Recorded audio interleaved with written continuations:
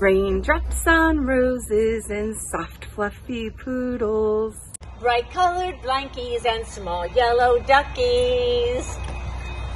These are a few of my favorite things.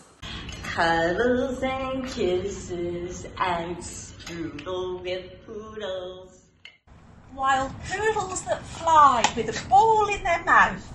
These are a few of my favourite things.